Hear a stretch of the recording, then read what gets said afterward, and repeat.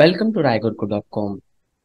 Today, we are diving deep into the fascinating world of data visualizations. Especially, we will learn how to create heat map with five vertical column using Python Matplot. Heat maps are powerful tools for displaying data in a structured and visually appealing way. They help us to identify patterns, correlations, and variations in our data set. So in this video, I will show you how we can generate a heat map using Python and Matplot library. So if you can see in the screen here, we have already created one flow or code which will generate heat map with five vertical columns.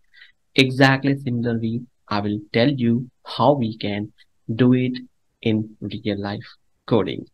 So we'll delete this and I will generate this complete code from scratch so that you'll able to understand.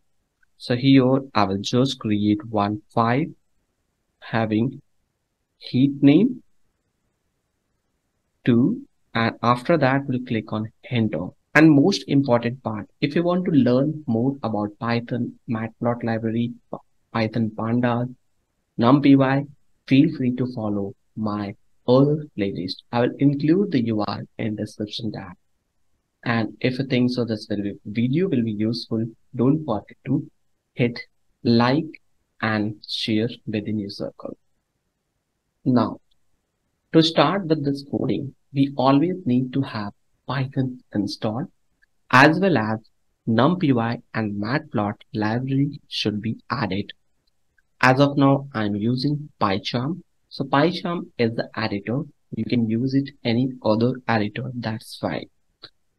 Now I'm starting coding here. So whenever we'll start first, we'll import library.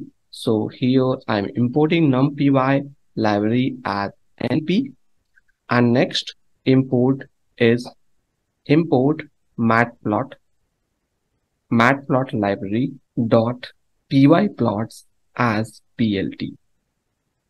So by using these two library, we will take all those attributes related with that. Now, after that, we have to set sample data to replace our own data sets. So here I will create one data variable which will store this np dot random and will add rand value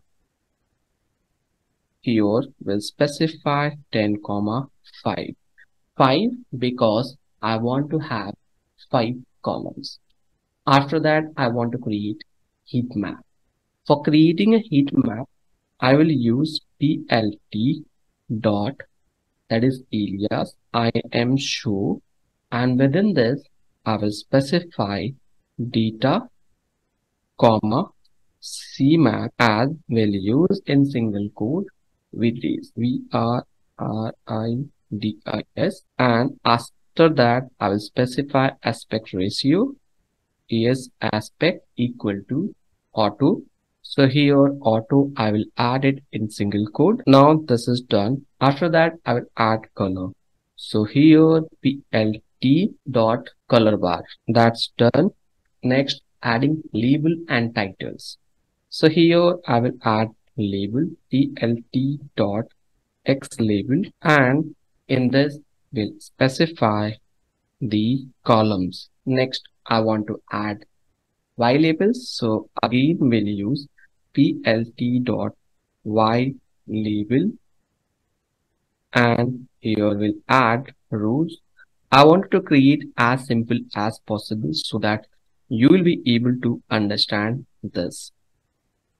Rules and next. So for adding title we'll again add plt dot title and within this we'll specify the title name. So we'll add heat map. And next sections i wanted to specify the verticals. If you want to add within the title vertical also you can add it. Otherwise, let's customize the number of text and labels on the x-axis. So here we'll specify ticks plt dot x xticks and within this I will add np dot arrange arrange for 5 column We'll add 5 here and within this specify comma next is I wanted to add all those column name. So if you want to add c1 c2 c3 c4 that is also fine. Otherwise you can specify the exact column name. In my case I wanted to keep it simple so I will just add c1 c2 comma c3 comma c4